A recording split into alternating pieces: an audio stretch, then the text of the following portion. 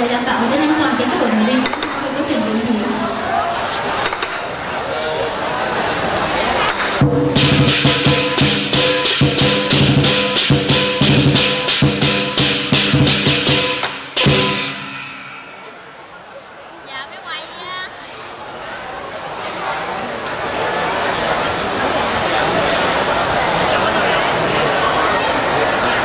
Thank you.